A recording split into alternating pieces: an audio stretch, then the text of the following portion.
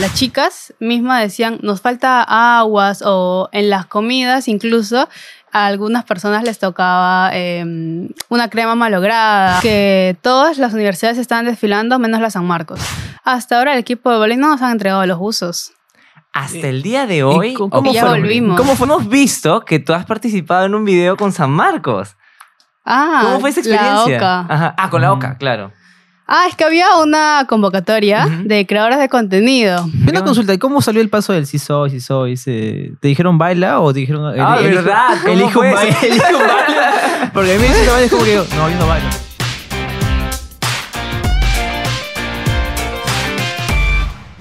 Este capítulo llega gracias a Studio Ultimate de Chiripa.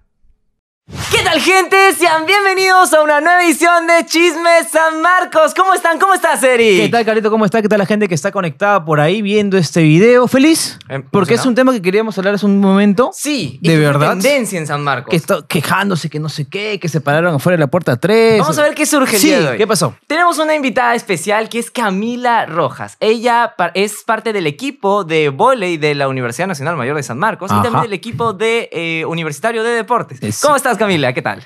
Hola, ¿qué tal? Un gusto estar aquí, ¿verdad? ¿Ya habías visto Chismes San Marcos antes? ¿Te había Sí, salido sí, por ahí en eh, TikTok? Me habían comentado y también en mis redes a veces estaba por ahí en TikTok y me aparecían varios videos en mi para ti.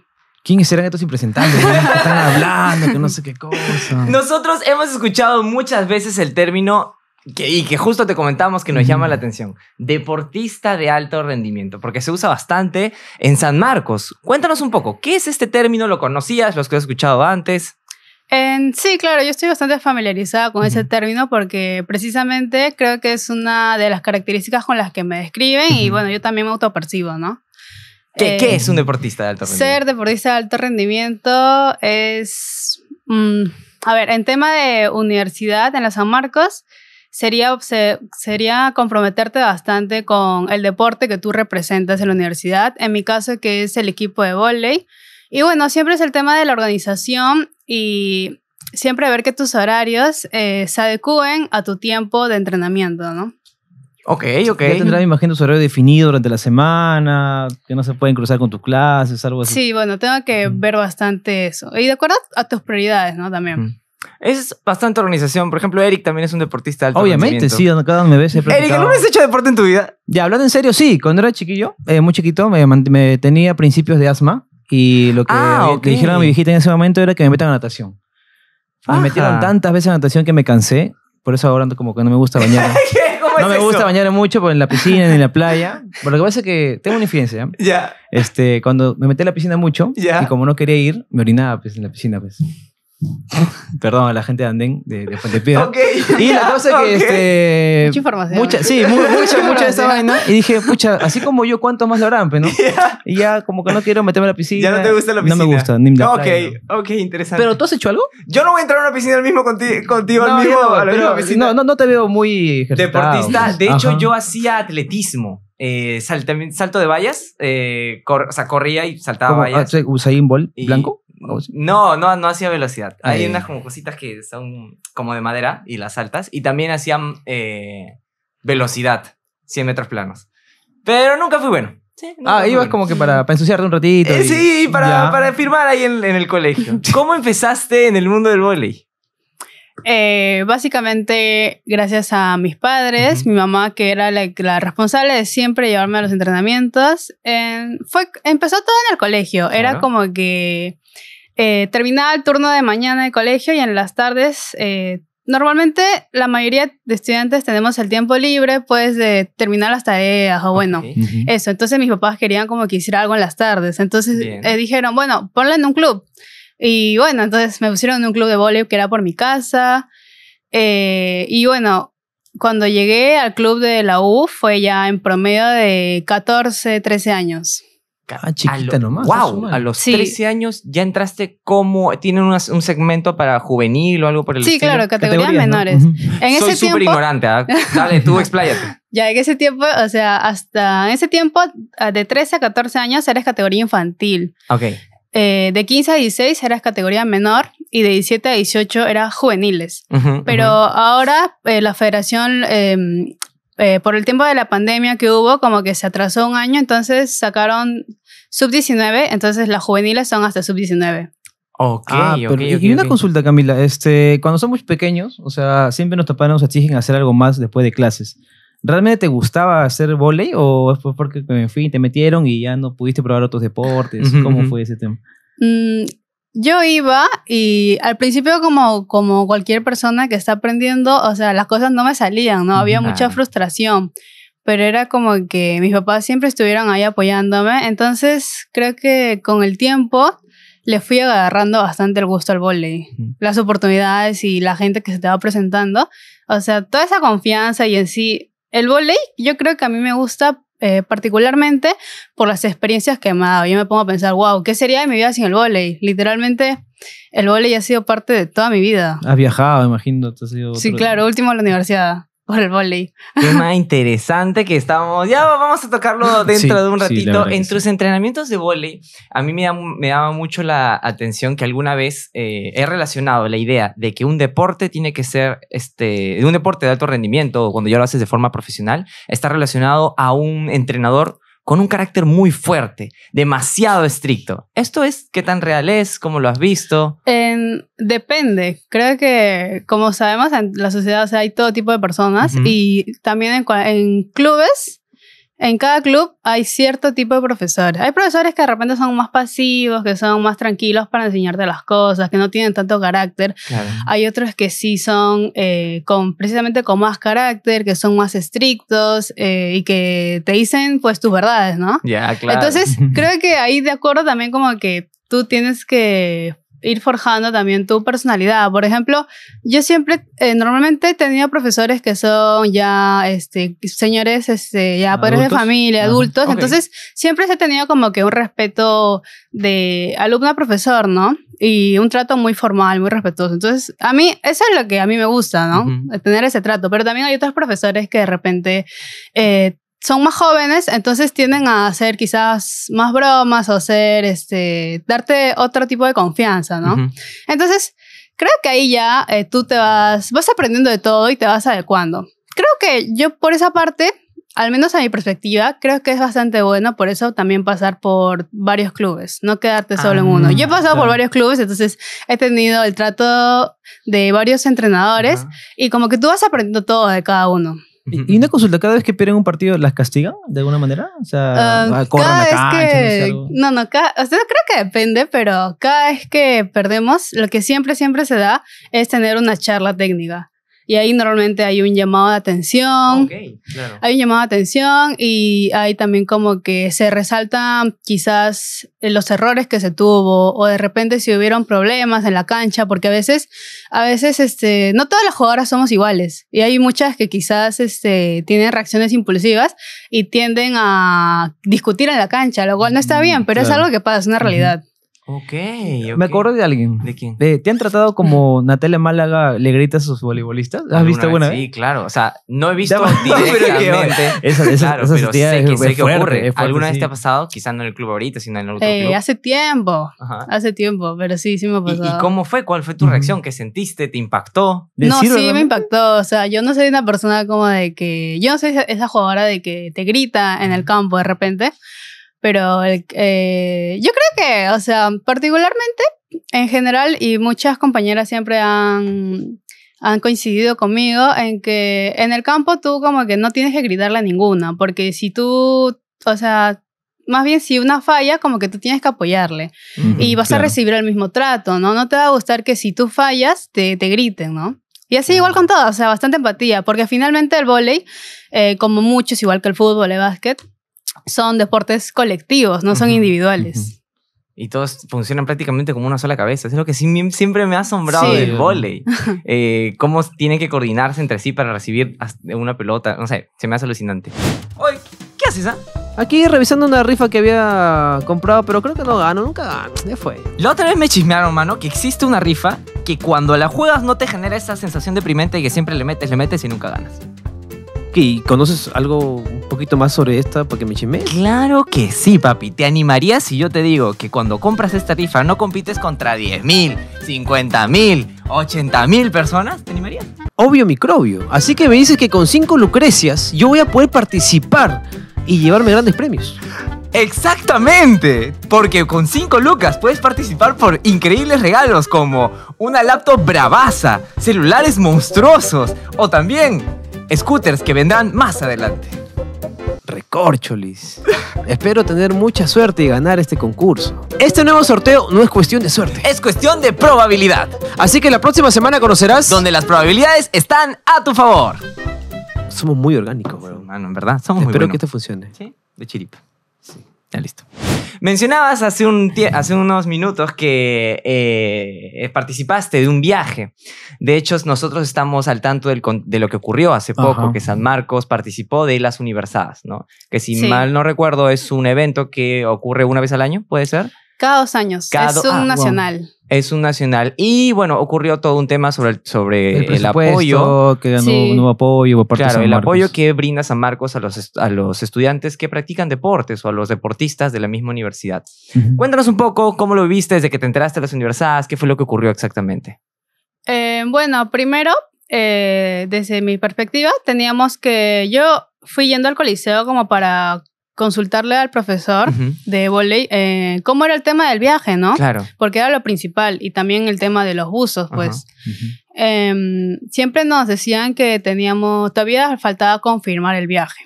Que no, y, el profesor en una ocasión me dijo, este, no, no sabemos lo que está pasando con el tema del viaje. E incluso un compañero me, me escribió y me dijo como de que eh, les a los de fútbol les habían cancelado el viaje de último momento. Ah, Wow. El, el viaje que nos estaban dando este, era en bus. Bueno, la mayoría de universidades estaba, estaba teniendo el viaje en avión. El- Igual el bus es como que mucho más pesado. Claro, es, es hacia qué, ¿en qué ciudad se dio? Arequipa. En Arequipa. Claro, estás hablando de un viaje de dos horas en avión, no, que 45 minutos, una hora y 15. ¿Y en bus fue? Mm, mira, o sea, la chica del vole que fuimos con el equipo de, fut- de futsal de varones, nos demoramos en promedio unas 21 horas. Es- es- yo fui al equipo ¡Ah, también en la bus y es feo, es matadito. Sí. Es con para, así Ah, directo. su- Hubieron sus pares, pero se sintió. No, Yo sé claro. que yo duermo bastante, ah, igual Claro. lo sentí horrible. Es que son, es un Sí. día Y, entero. y como deportista esa vaina afecta. Claro, el tema del cansancio, el Te afecta el rendimiento. Lógico, el tema de las piernas, de la, de la musculación, de cómo debe estar un día antes. ¿Llegaron Sí. un día antes o el mismo día de que No, un día antes, un día antes. Igual es un día. Sí. O sea, es adaptarse también al, Al al clima, clima, me imagino, es la mucho. Arequipa, como que, bueno, pero. No, igual, este, este- Arequipa es 3000, ¿no? ¿O me equivoco? Me 2800. acuerdo. Muy vivo en la ignorancia. ¿Qué? Sí, sí, pero mira, ¿y ¿sabes qué me, me pareció un poco mal lo que hizo San Marcos? Que después de, de todo este chongo que pasó, publicaron todavía, felicitábamos a los Ah, deportistas es que ganaron, que es no sé qué diablo. Oye, qué sinvergüenza. Por eso no nos invitan acá. Pero, pero está ahí, todos los comentarios decían, Por ¿no? eso no Oye, nos apo- invitan. apoyen, pe, no- mira, encima puta, que Ajá. se jactan de los triunfos, pero que no los apoyan, no, Ahí no hay pues. presupuesto, con toda esa vaina. Lo que pasa es que en el tema de la selección, todas las selecciones, todos los deportistas seleccionados de la Universidad de San Marcos, eh, teníamos un grupo, ¿eh? pasaron el enlace, me uní Ah, wow. todo. Teníamos un grupo, o sea, en general de todas las selecciones. Y ahí como que pasaban. Yo me acuerdo que también era como que las chicas mismas decían, nos falta aguas o en las comidas incluso. A algunas personas les tocaba eh, una crema malograda, Ah, E Incluso sí. en una ocasión yo me acuerdo que publicaron una foto en el grupo en el que decían que había un gusano en la ensalada, en la comida que daban a los deportistas. Ok, entonces San Marcos también se tenía que encargar de la comida que recibían los. claro, nos tienen que dar los viáticos Claro. como deportistas. Pasajes, alimentación, hospedaje. Claro. ¿qué- Exacto. No sé, dentro de yo dije, San Marcos da la plata y pues ya, ¿no? Y ellos. Y, no, me imagino que gestiona todo eso. También no, para- gestionado esto y, y no de la mejor Y forma. con- consulta, ¿todo esto pasó dentro de la UNSA, de la Universidad de la UNSA, eh, en sus sus estadios, qué sé yo, o eran coliseos aparte dentro de Arequipa? ¿Cómo, Em, cómo fue esto? Todo era dentro de la UNSA, pero eran varias sedes. Bueno, Ah, ok. no era solo una universidad y que ahí estuviera todo. No, habían varias sedes. Y, No, y- dale, dale. sí, y hubo problemas también con otras universidades, o sea, cuatro compañeros de la UNSA, de Trujillo, qué sé yo, que habían bajado hasta este evento, ¿pasaban lo mismo que ustedes? ¿O sí que no había apoyo de parte de su universidad? ¿O qué conversaban ahí? No sé. Hasta donde yo sé, no, pero sí supe que un- otras universidades, eh, como la Ricardo Palma en atletismo, creo, eh, ellos se habían clasificado a las nacionales porque nosotras, nosotras del equipo de volei eh, nos invitaron por ser, por ser la decana de América. Oh, wow, ya. Pero, por ejemplo, una universidad como la Richie, que es este, que sí clasificó en, en atletismo, no les enviaron. Oh, no, o sea, la misma universidad decidió no enviarlas. Sí. Oh, ¿por qué? Ah, no, Bueno, no supongo que es mala gestión ya de la Claro. Sí, universidad, ¿no? seguramente, pues, También ¿no? temas de presupuesto. Igual porque, quizá. por ejemplo, en la universidad sí se había destinado más de medio millón al tema de la universidad. Ujú. No es que falta de presupuesto, ¿no? Sino falta de gestión, porque incluso hasta ahora el equipo de voleibol no nos han entregado los usos. Hasta el día de ¿Y hoy. cómo- ¿o cómo ya fueron? volvimos. ¿Cómo fueron? ¿Cómo fueron? ¿Cómo fueron? ¿Qué, qué usaron? O sea, lo que- Pues nada más lo, la, la ropa que teníamos nosotras. ¿Me estás bromeando? No. Y una cosa, ¿cómo es este el inicio de este evento? Pasan todos marchando, creo, ¿no? Con una pancarta. con Lo que pasa es que hubieron prácticamente al principio de la universidad, la inauguración, Ujú. solamente iban siete deportes. Claro. Y nosotras nos tocaba en la segunda etapa, que era junto a los de básquet, Ujú. junto a atletismo, junto a rugby, junto a fútbol. Ya. Eh, la primera etapa sí eh, fue futsal damas, por ejemplo. Ok. Fútbol, futsal damas. Y ahí, como era recién el inicio, ahí sí hubo un desfile. Eh, me parece que en el grupo comentaron que todas las universidades estaban desfilando, menos la San Marcos. Y que al final creo que sí salieron, pero fue muy improvisado, pues, ¿me Mm. entiendes? Claro. Claro, todo sí. triste, ¿no? Es que eh, pues, nos pasaron una foto de, Sí. de la gente ahí desfilando tristes porque también Mm. Se molesta, ¿Con qué gana? O sea, Claro. en teoría estás yendo a representar a tu universidad y tu universidad literalmente ha hecho todas No las cosas a apoya. última hora. Y eso que las hicieron por el, creo, ¿no? Por el plantón que hubo en la puerta 3, ¿no? ¿Cómo surgió esto? ¿Cómo fue esta organización? Mm, A mí me pasaron el flyer Ujú. eh, un día antes. Mm, me ok. pidieron que comunicara también, ¿no? Como deportista.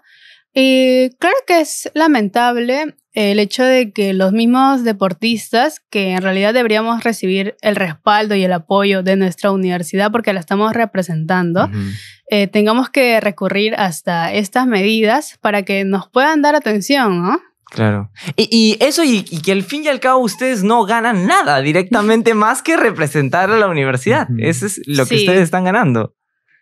Sea, Es más, creo que por gusto Ajá. a la universidad y al deporte.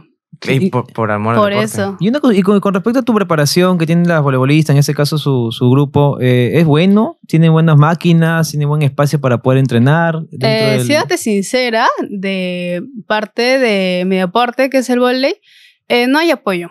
Es Ok. como si hubieras, es como si estuviera abandonado, o sea, la verdad. Me gustaría decir que no fuera así, pero, pero lo es y creo que incluso te desanima el hecho de tener que ir, ¿no? O sea, este, esta falta de apoyo se siente en qué? infraestructura, falta de pelotas inclusive podría ser, Eh, falta de buena dirigencia, diría yo. en temas de entrenamientos quizá. Tema de entrenamiento, no hay una buena estructura y también quienes lo dirigen. No hay apoyo. No hay apoyo y, y se siente, ¿no? O sea, siente. La, la gente misma que va a entrenar, pues, ahí, ahí se da cuenta. Sí. Y esto también tiene, este, ¿podrías decir que esto también tiene resultados o efecto en el rendimiento mismo del, del, del equipo? O sea, cuando uno llega y dice, ah, llegó el equipo de San Marcos, es como un, wow, ¿son un contrincante muy fuerte o Es es como, ah, bueno, bueno. llegó San Marcos? Es como lo segundo que acabas de mencionar. Qué complejo y qué Sí. doloroso de escuchar. ¿Cómo, cómo te sientes tú al, al vivir esta experiencia? sea- Em, yo creo que nosotras como deportistas eh, no sentimos ese apoyo de la universidad, al menos en el aspecto del vóley. Ujú. A mí me gustaría tener un entrenador que realmente tenga un, o sea, tenga ya hecho un guion previo de cómo van a ser los entrenamientos, vamos a mejorar en este aspecto, pero no se siente así. Entonces, realmente es feo porque no se siente quizás hasta un rechazo, ¿no? Ok. ¿Y, y ya les ha tocado hacer, qué sé yo, panchadas, polladas, Ah. actividades para poder pagarse algunas cosas? Ah, bueno, hasta donde yo llegué a la universidad, no. Ok. Porque, la mayoría es esa, vaina, ¿no? Hay- hay veces Chico, profundo, sí. profundo de tus O uniformes. sea, y, lo he visto y me parece que es algo muy cultura sanmarquina y eh, es divertido hasta cierto punto, pero si tienes un presupuesto de medio millón de soles ya designado a los deportistas, no, no te pases. En el tema ya de las uni- universadas, cuando viviste ahí la experiencia, ya el evento como tal, ¿cómo fue? ¿Cómo la pasaron? ¿Cuál Ujú. fue el- el- el- los, los resultados? Es organizado. Ah, yo creo que fue una bonita experiencia. Eh, el primer día que llegamos, fuimos a apoyar a las chicas del, del futsal damas. Claro, Se sí. fueron a penales en- y ganaron. O sea, fue muy emocionante porque de verdad que también estaban otras selecciones de la San Marcos apoyando. Entonces, cuando ganaron, fue como que todos fueron al centro y todos este, alzamos la mano y dijimos San Marcos, ¿no? La ¡Ay, barra. qué bonito! Entonces, claro. Eh, uno como que ahí se siente bastante identificado Ujú. y pues ahí el amor a que tienes a tu universidad, ¿no? Ujú. Y, y ahí te das cuenta de algo que es muy cierto. San Marcos no es la gente que lo diligencia, no es el lugar. San Marcos es los estudiantes. Sí, la verdad. San Marcos sí, es la pues. gente. Y ahí Sí. se ve. O sea, en, esas, en esas situaciones es donde, se, donde sale más a relucir. Este, ¿Y qué otros resultados obtuvieron? O sea, me contaste a las chicas de fútbol. ¿Cómo les fue a las chicas de vóley? Eh, en el primer partido, que tu- nuestra serie era de tres, eh, la verdad es que nosotros fuimos con equipo incompleto. Ah, wow. ¿Y qué, por qué? O sea, hay chicas que no pudieron. Me parece que a veces sí, bueno, algunas chicas justificaron que no podían y otras... eh, eh, pasa que con el tema del deporte hay algunos profesores en la universidad que no te apoyan. Wow. Entonces es Mm. como que si tú vas, vas a perder de repente una nota importante, quizás un parcial y el profesor eh, no, no te No va a dar la solución. Claro. Exacto. Pero hasta- entonces- hasta, en eso se Sí. ve el tema de la diligencia. Sí, exacto, porque nosotros fuimos sin capitana. A la miércoles. ¿De, de qué facultad es la capitana? Eh, ella estudia enfermería, es de la Facultad de Medicina. Ah, ya, bueno. Sí, en facultad de enfermería son mucho... O sea, yo sé cómo... to- En todos son exigentes, ¿no? Pero pues la universidad debería poder dar esa cartita de, oye, ¿sabes qué? Esto es importante, ¿no? Sí. No todo está en... Inclusive en el colegio, ¿ah? o sea, Ajá. paraban la clase, chicos, este, los que van a jugar campeonato de Y fulbito, salían, ¡ay, se salían, los chicos, no, puta, que yo voy a jugar y todo, con Sí, sí lo he clase. visto, sí, yo Pero en universidad, yo tampoco, yo miraba nomás. Pero en universidad, donde se supone que no, o sea, mejor, no sé, más llevadero, qué sé yo, más, más considerados, nada. Este, justo lo queríamos preguntar, el tema de la flexibilidad era una de, la- de las cositas que queríamos este, conversar. En, a ti, en, tus casos, en tu caso como estudiante de Derecho, si no me equivoco, Sí. ¿qué va a hacer es? 23. ¿Sientes flexibilidad? Hay profesores que sí son flexibles en ese aspecto. ¿Fue difícil? ¿Tuviste que decir, sabes qué? Voy a ir porque voy. Mm, yo simplemente eh, hablé con los delegados y directamente les envié mi permiso, ¿no? Les dije, este, tal fecha voy a faltar. Lo que pasa es que como yo llevo anual, no estoy en una fecha de entregar eh, trabajos de investigación Ah, o de parciales, entonces por eso me salvo. Es como si fuera simplemente una clase a la que faltas. No es una fecha importante. Claro. Yo me salvé por ese lado. ¿Igual se te considera como falta o no? Eh, si es Justificado. justificado, creo que Justificado. no. No, no. Bueno, Menos ¿no? mal, ya, ya, si no, ya, iba, iba a quemar la puerta tres. Y ¿no? Camila, consulta, eh, comentaba hace rato que llevas eh, practicando vóley desde los 13, 14 años más o menos. Sí. ¿En qué momento ya empiezas a crecer y decir, o estudiar en San Marcos, estudiar una carrera universitaria? ¿Cómo decides estudiar Derecho? O sea, Eh, ya, aparte, yo, yo fui promo pandemia. Así que Pero- ah, claro, que egresaste, del o sea, saliste del colegio cuando ya estabas Sí. en pandemia. o sea, Ah, hicieron graduación en sus casas, ¿no? ¿Así? ¿Mm? Hicieron graduación en su casa, ¿no? Con su... yo ni siquiera tuve eso. Ya, ni, ni preguntar que No. si es fiesta de prom, ¿no? Viaje tampoco. No, bueno. tampoco tuve. Por por.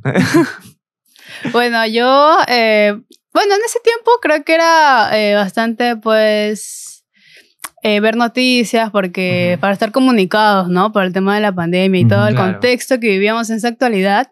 Entonces yo hablaba bastante con mi papá.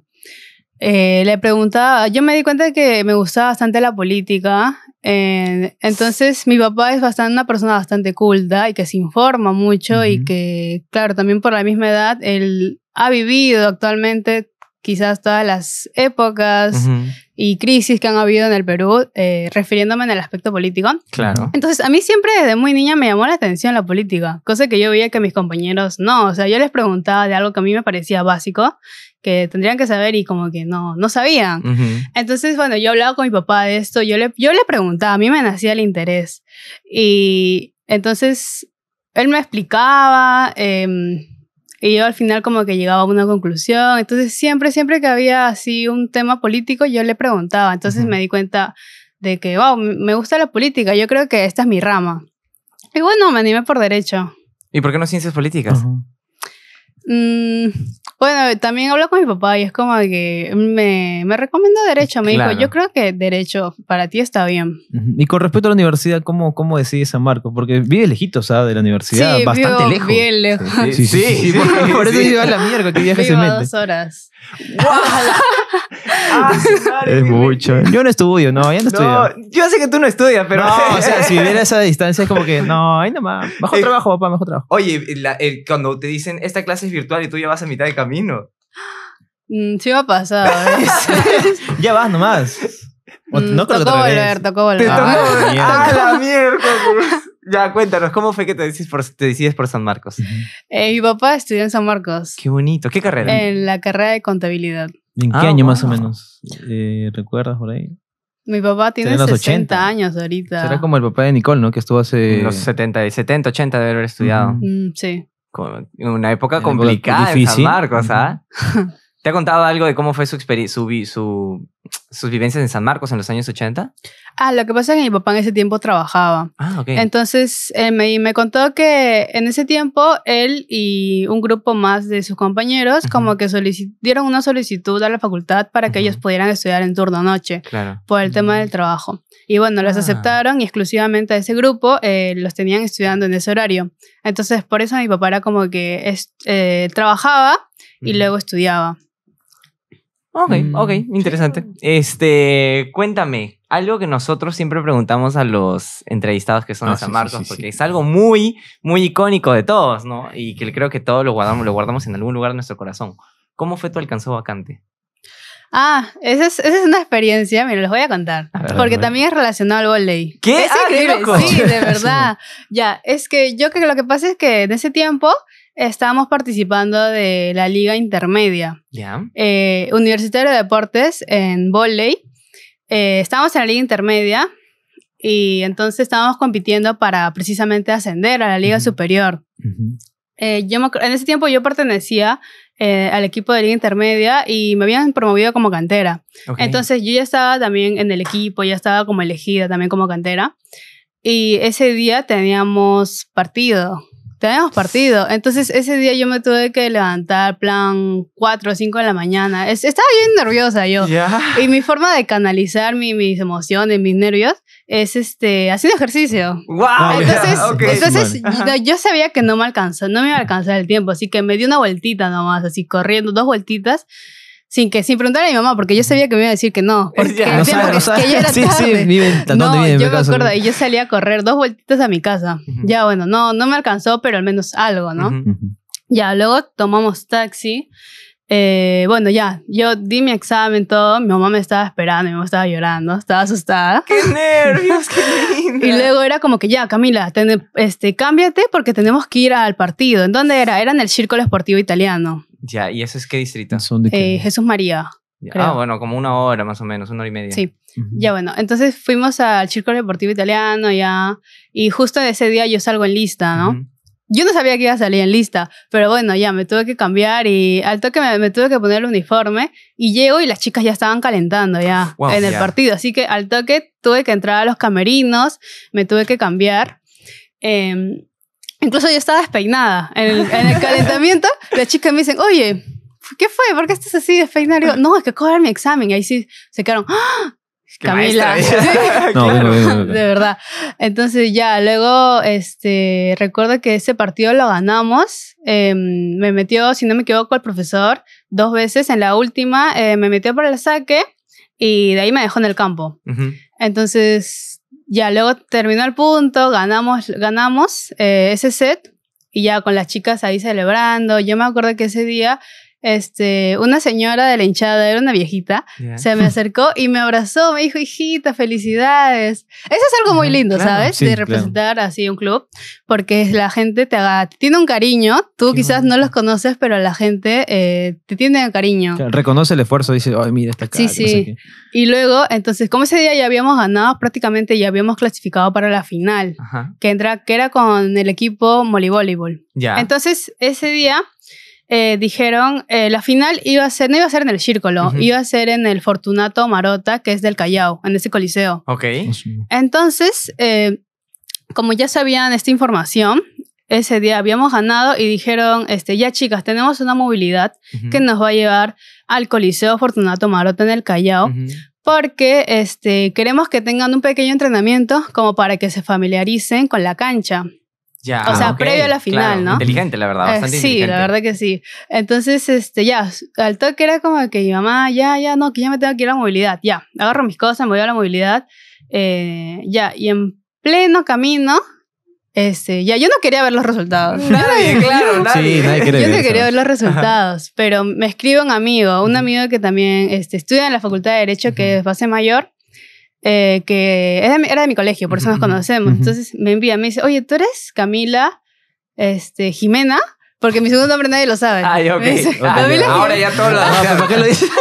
Bueno, ahora ya todos lo saben. Ya, ya Ya, sabemos. bueno, me dice eso y dice y me manda tu alcanzó vacante entonces yo eh, yo yo como que no sabía cómo reaccionar en ese momento porque yo estaba en la parte de atrás de la movilidad con todo el equipo de volei de ese de ese de ese año.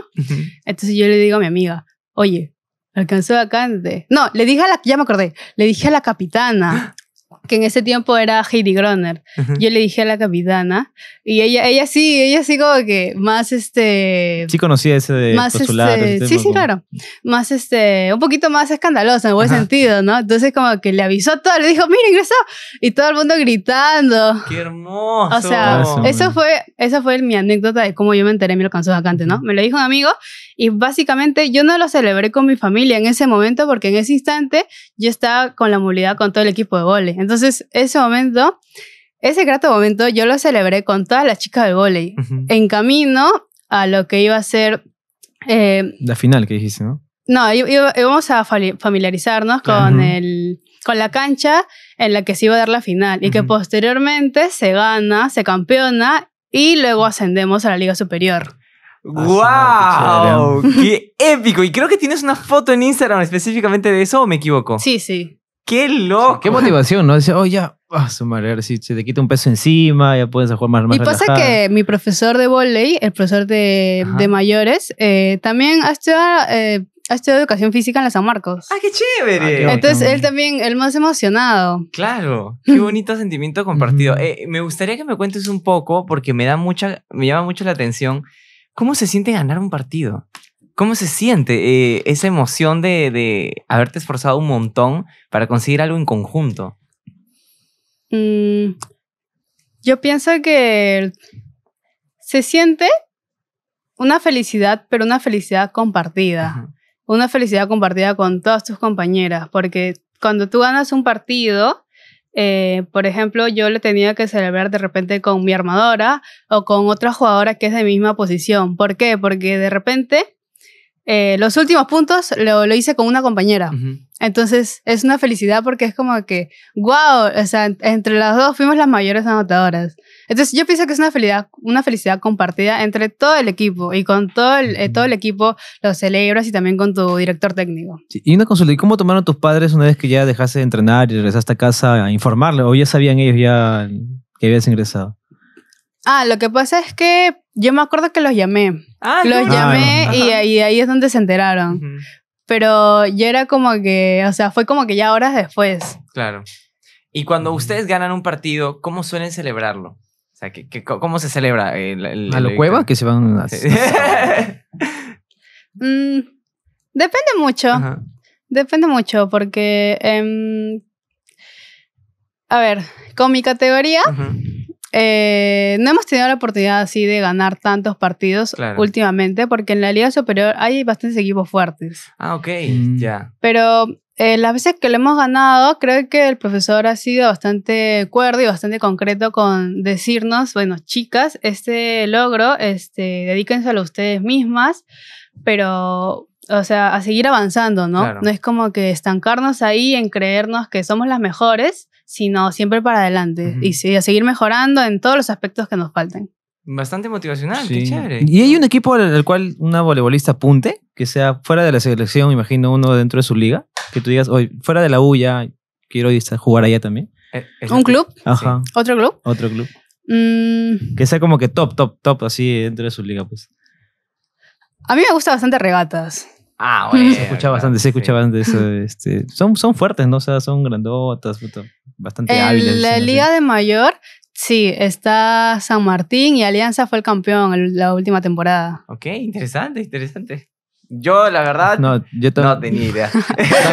de verdad tampoco mucho. Pero eso también es conciencia de, de- de empezar a, o sea, ver también es apoyar, ¿no? O sea, a mí alguna vez me dijeron, paga alguna vez una entrada a un partido de vole y te vas a quedar pasmado de lo rápido que va la pelota. Y yo dije, oh, qué loco. Me quedé con el compromiso, me lo dijeron hace unos cuatro meses, me quedé con el compromiso de alguna vez hacerlo. Nunca has ido tampoco a ver. A un- a ir a Una ver- vez creo que he he a visto, verlo. he visto por, por televisión varias veces, eh, pero ir a ver un partido de volei jamás. Entonces dicen que es una experiencia totalmente distinta. ¿Compartes esa idea? Sí, el ir a verlo, o sea, en el coliseo, la misma vibra de la gente y bueno, la, la tribuna está como que alrededor, pero como que elevado. Entonces, eh, se puede ver todas las jugadas y claramente cuando hay, o sea, salvadas de las jugadoras. Y creo que las personas eh, no suelen ver mucho vóley, entonces Ajá. les sorprende bastante, ¿no? Pero sí, o sea, es bastante bonito, sí. Eso es chévere, eso es chévere. O sea, yo como jugadora que sé todas las técnicas, el cómo se tiran, eh, cuando ves salvadas es, es increíble, de verdad.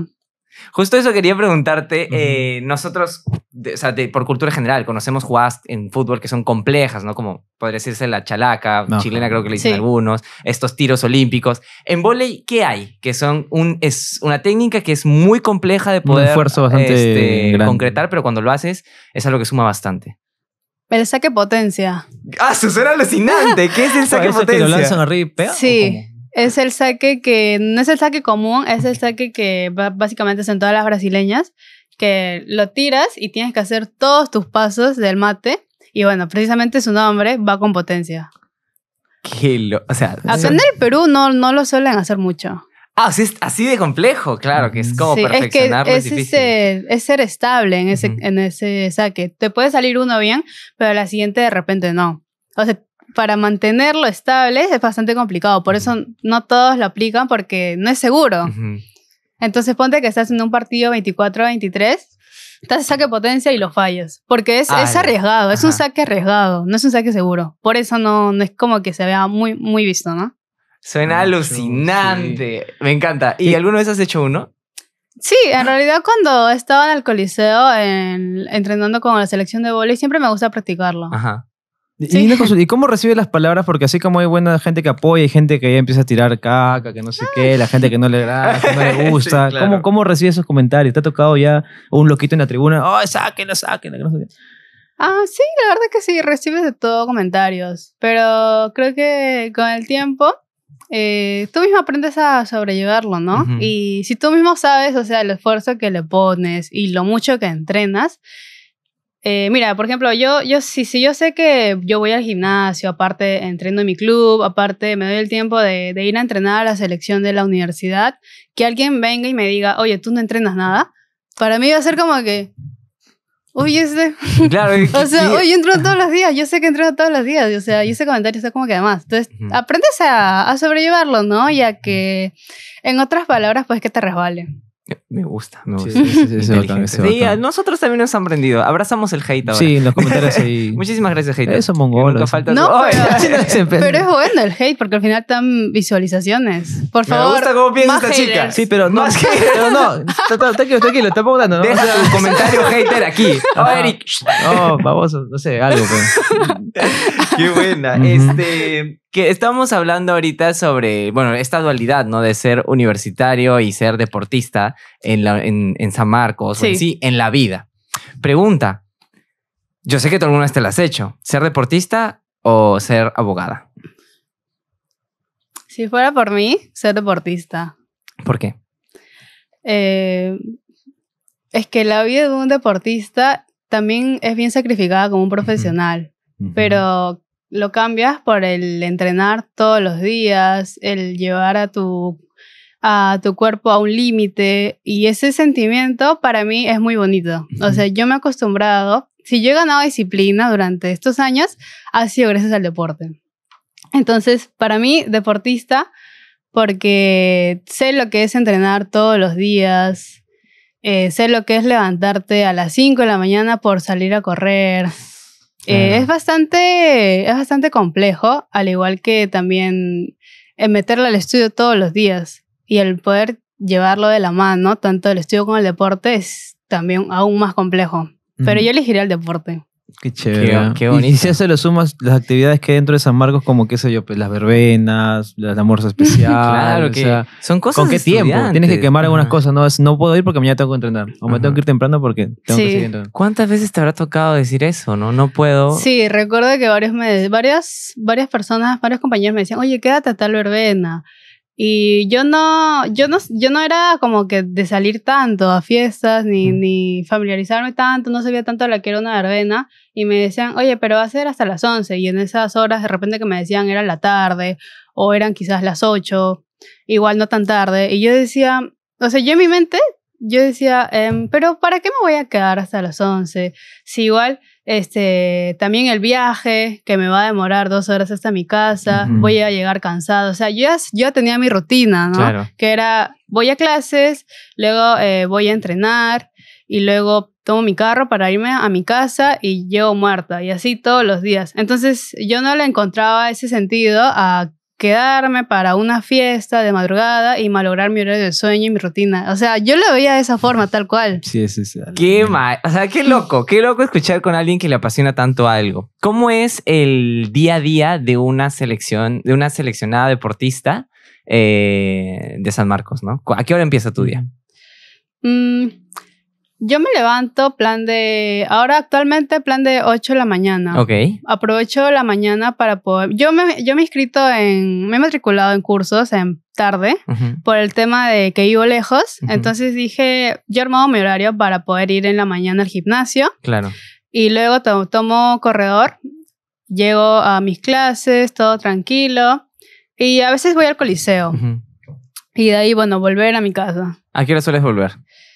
Mm, últimamente, como mis horarios ahora son de tarde, sí estoy volviendo tarde a mi casa. O sea, llegaré a las 11, así. Ah, la mierda. ¡Wow! ¿Y, y cómo sientes cuando te llegue el, el tema ese de prácticas, de empezar a trabajar, Ah, qué sé yo? ¿Vas a tener que balancear bastante o ir dejando algunas cosas? Sí, es el tema creo que de ir priorizando ya de repente mi carrera, pero hasta, hasta ahora lo que yo sé es que el tema del vóley y el deporte todavía no lo pienso dejar. Quizás puedo eh, reducir algunas cosas o de repente pedir permisos, pero por ahora todavía no quiero dejar el vóley. Qué bonito. ¿Qué año de tu carrera estás? Yo estoy en segundo año. Ah, ya, ok. Hay, un- hay un año crítico que Eh, este, tercero esperemos unos chismes que Comenzaron mis prácticas también. pues. cuando Sí, ah, sí, sí, eh, sí. trabajas y estudias al mismo tiempo. Es un año súper crítico y complicado. va a volver. Camila va a volver a contarnos A cómo está. Chico, dejé la carrera. Chao. Chao, San Marcos. No, Chao. no, no era lo mío. Eh, eh, tú tienes una faceta también que nos ha llamado mucho la atención, que es como creadora de contenido. ¿ya? Sí, soy influencer. Esta, es- me- ah, su la mierda. Oye, la tiene clara. A ver, tú dilo, Eric. No, yo hago videos nomás. No. Nada más. Eh, ¿Cómo empezaste? ¿Qué es lo que te llamó la atención de empezar a crear contenido, de ser influencer? Mm, A ver, yo empecé, eh, o sea, fue algo que no estaba planeado en realidad. Eh, empecé pues a grabar videos, eh, trends de bailes así, Ya. trends que se hacían tendencia, virales en TikTok, con mis compañeras de volei. Era como de que, oye, este, hay que hacer este trend. Entonces, nos, pucha, nos íbamos a un camerino así del, del mismo estadio Ok. y poníamos la cámara y ahí hacíamos el tren. Luego nos etiquetábamos y lo subíamos. Era como que un... O sea, por vacilón, era para como, claro, distraerse. como- ex- exacto, como un vacilón para distraernos. Ujú. En parte también compañerismo también con mis amigas, porque así, nos- Claro. así también nos hacíamos más amigas Claro, y- y, compartes, todo. Exacto, por compartir, pues, ¿no? Ajá. Entonces se empezaron a hacer virales los videos. Entonces era como de que me, me gustaba, ¿no? Y luego como que, oye, este nuevo tren hay que hacerlo. Y ya, lo hacíamos. Luego yo empecé a grabar sola, también se hacía viral. Entonces como que la gente lo likeaba, le comentaba. Y así es como empecé a tener más seguidores, ¿no? Ujú. Hasta un punto de que ya habré tenido buen público de seguidores. No sé exactamente qué número, pero este, luego dije, bueno, voy a empezar a grabar. Entonces empecé a grabar yo sola. Y bueno, hasta ahora he llegado a los 147 mil seguidores en TikTok. ¡Ah, su madre! Que no pase su Y- cuenta. y pero- en- Mal.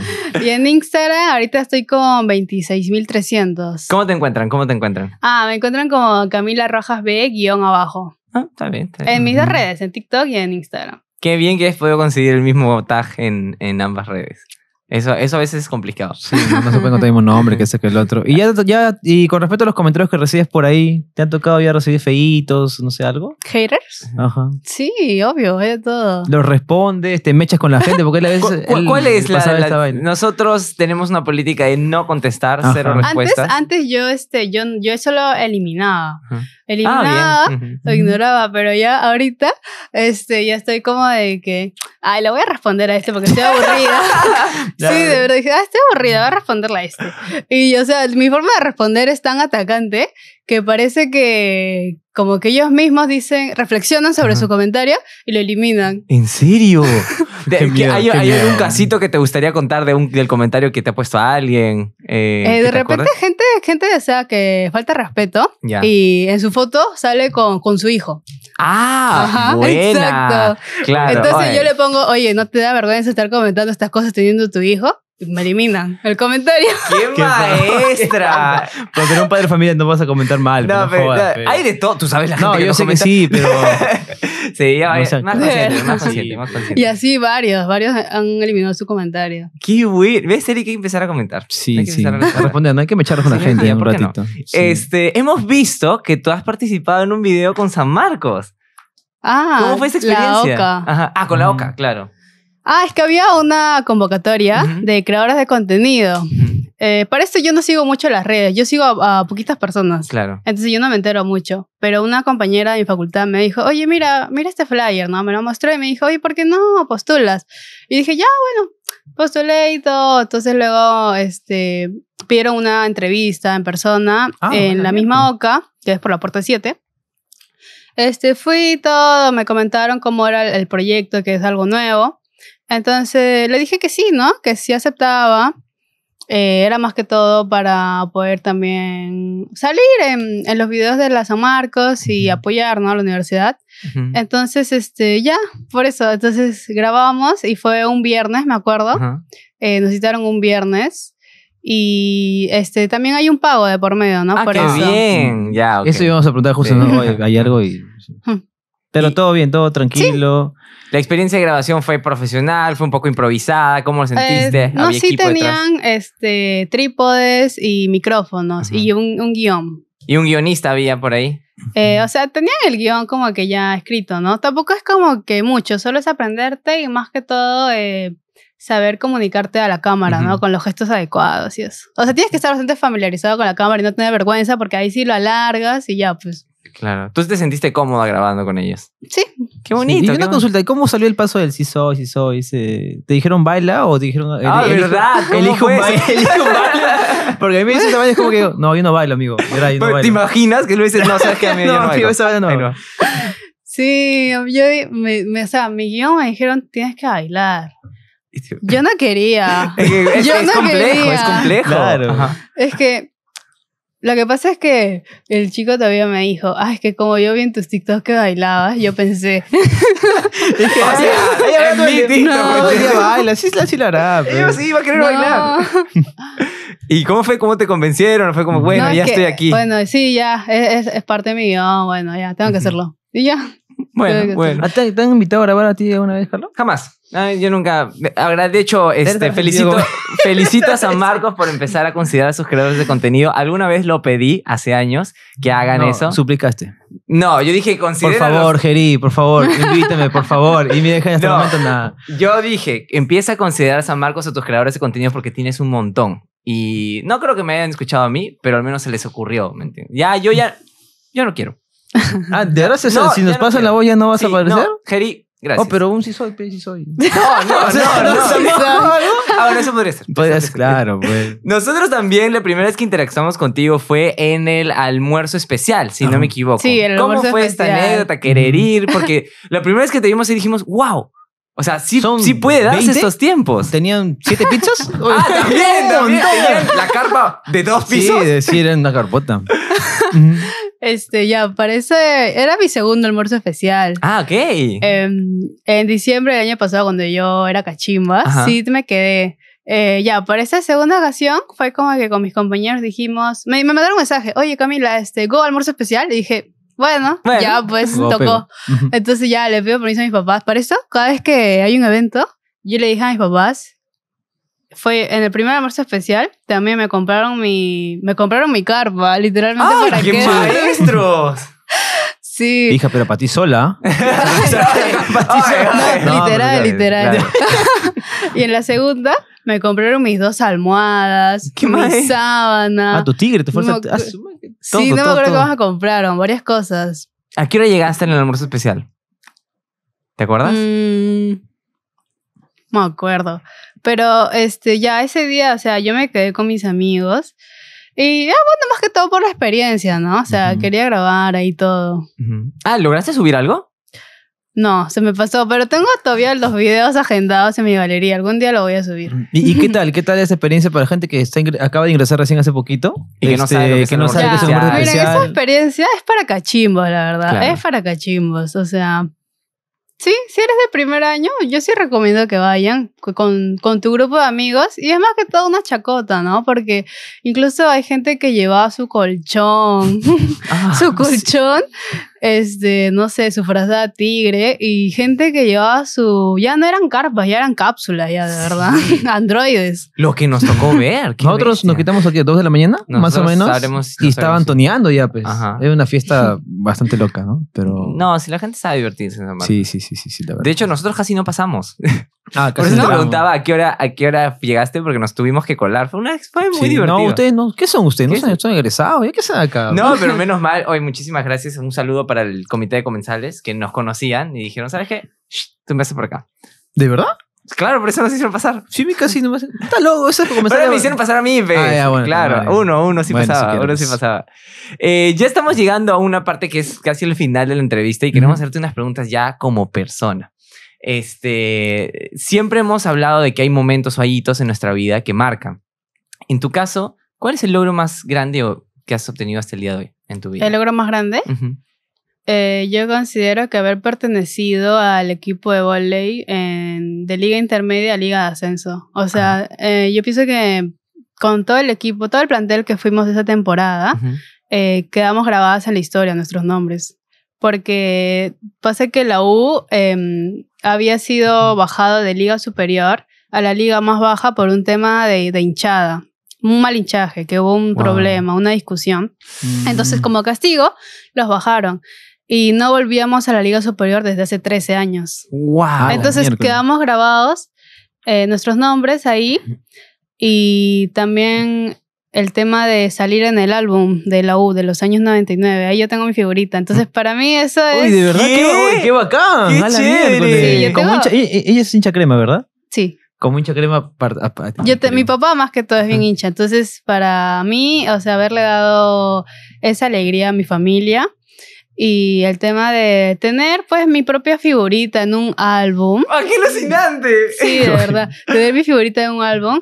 Entonces, tenemos el álbum en mi casa con, ya con mi figurita y con el equipo de volei completo. Entonces, yo creo que esa experiencia ahí queda grabada para Ujú, siempre, ¿no? Y nadie te va a quitar ese mérito. Es decir, yo que tengo mi carnetón nomás de postulante. Y es lo único que vas no a tengo tener. nada más. Madre. Ti- Si alguien alguna vez te ha llegado con la figurita y te ha dicho... Te la eh, cambio. Oye, me la firmas. te la cambio, me- me- Te la cambio. me- me la firmas algo por el estilo. Este, sí, hay, seguidores que me Ajá. ponen, Camila, porfa, este, ¿qué día puedes estar en, en el Lolo para poder ir o para acordar porque quiero que me firmes la, la figurita y así? ¡Wow! Ah, la- Oye, ¿La, la qué- tienes enmarcada al costadito algo? o- Ah, es que como, como en cualquier álbum te vienen repetidas, ¿no? Claro. Ujú. Entonces, a ver, eh, yo tengo una parte, creo que también tenía, tenía otra en la que, que ponía mi case de celular. Ujú. Ah, su- Y otras también se las regalé a algunas personas que para mí eran especiales. Ah, también se las regalé a un, tenía un profesor Ya, eh, en primer año que era hincha de la U. ya. Entonces yo le regalé más puntos. ¿Qué? Oye, qué inteligente y sin roche. Lo dice, lo viene. Oye, qué maestra, qué maestra. Eh, teníamos otra pregunta también este, que está relacionada a dónde has llegado el día de hoy, que es este. ¿Cuál es el sacrificio que más te ha logrado, que, que más, o sea, que has hecho, que te ha llevado, que más te ha costado este sacrificio y que te ha llevado a donde estás el día de hoy? El sacrificio más grande. Mm, Yo consideraría que a partir de toda mi vida, el sacrificio más grande que ha, ha sido para mí el, el poder estar en el club, en Universitario de Deportes, porque también vivo lejos, o sea, queda en. Breña, igual el trayecto es básicamente de una hora y media a dos horas. Y en este tema de cuando estuve entrenando con el equipo de mayores, muchas veces hubieron sábados que teníamos entrenamiento específicamente físico y eran a las 6 de la mañana. Ah, su Ah. Entonces yo Ah, tenía su- que- ¿Hasta qué hora tenías que salir? A ¿Cuatro? ¿Cuatro y media? cuatro y media. Ah, la miércoles. No, no la A veces recurrí a quedarme en casa de mi abuela. Ujú, Para esto me acompañaba mi mamá. Claro. Eh, y mi abuela, su casa es en San Martín de Porres, entonces en teoría queda más cercano a media hora. De todas formas, era muy pesadito el levantarme a esa hora para ir a entrenar físico. Entonces, yo creo que ese sería, o sea, lo que yo pienso que ha sido más dificultoso porque no es como que fue solo un tiempo, o sea, este trayecto de dos horas hasta entrenar al club ha sido, como les digo, desde los 13 años. Entonces, ha sido durante todos estos años y durante todos esos años yo he tenido la suerte de siempre contar con el apoyo de mis papás y mi mamá nunca me ha dejado sola. Siempre me ha, Mm. me ha ido a dejar, ha visto mi entrenamiento y siempre me ha recogido. El apoyo de los padres es muy importante. sí, es ¿no? muy importante, en verdad. No he dejado de escuchar toda tu historia. Cada 10 minutos creo que has mencionado a tus papás. Vamos a aprovechar el pequeño spot que tenemos. Eh, si tú, bueno, yo sé que tu mamá nos está acompañando aquí como. Sí, como solo para la señora que por allá. Pero si tuvieses a los dos, porque a veces son pocos los, momentos en los que realmente nos sentamos a decir gracias a nuestros padres. Ujú. ¿Qué les dirías, no? Bueno, yo sí agradezco bastante a mis papás.